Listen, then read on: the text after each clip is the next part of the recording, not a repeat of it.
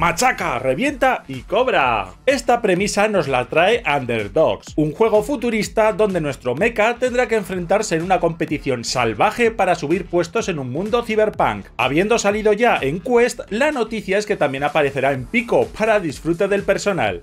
La hora del té en Meta. En el podcast de Bot to the Future, el CTO de Meta y uno de los máximos responsables de sus laboratorios, Michael Abras, han comentado los próximos retos de la VR. Y es que la física es el enemigo a batir para conseguir visores de 200 gramos y que duren todo el día. Eso sí, Abras dice que es ponerle ganas e ingenio. ¡Ostras, qué bueno! La V68 no para de dar sorpresas y en este caso viene la atenuación de pantalla, que regulará el nivel de brillo global para tener una mejor experiencia dependiendo de la situación, gracias a un algoritmo. No confundir como han hecho algunos con el local dimming de pantallas mini LED que montan por ejemplo las Quest Pro.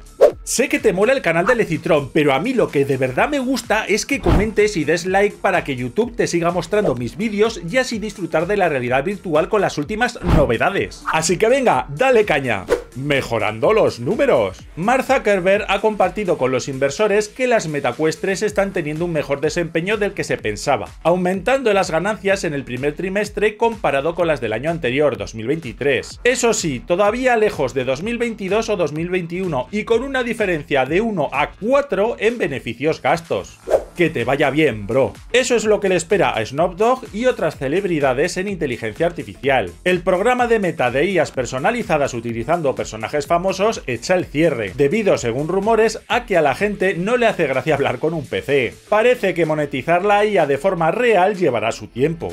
Ahora en formato mini. No solo de la imagen viven los jugadores de realidad virtual, sino que el audio es también muy importante. Meta ha compartido que ha conseguido llevar el audio espacial real a dispositivos standalone, siendo que ya disponíamos de esta tecnología para Rift y Steam desde hace casi una década como un pepino. Eso es lo que está pasando con las ventas de PlayStation VR 2. Según varios medios, se han disparado las ventas en un 2.350% gracias a su reducción de precio de 200 dólares, haciendo más ventas en un día que en todo el año. Eso sí, sin decir cifras de venta, tampoco se puede saber el impacto real.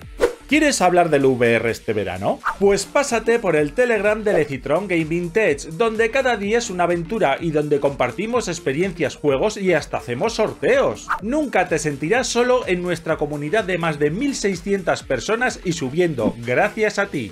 Fin de con juegos nuevos. Y es que llega el fin de semana añadiendo cambio de mes. Por un lado, los poseedores de Quest Plus recibirán en agosto el entretenido juego musical Ragnarok y la aventura clásica convertida a VR Mist. Además, si te apuntas a la hora feliz del Summerfest de Meta, podrás jugar a Golf 5 y iBay Cricket gratis. ¿Fue bonito mientras duró? Pimas es conocida por sacar una gran cantidad de productos y dejarlos en la estacada sin ningún problema. En este caso le toca su propuesta Portal, una especie de Switch que podía transformarse en un visor de realidad virtual, pero ha tenido tan mala acogida que esa línea de productos se ha cancelado. No sé si llegan al último tren. Los shooters multijugador en realidad virtual es un género tan habitual como los zombies y los dos comparten el mismo problema. Y es que hoy en día parece que estamos un tanto desbordados. Aún así, los chicos de Run Studios traen en forma de Quick Starter lo que consideran sucesor del shooter táctico Onward.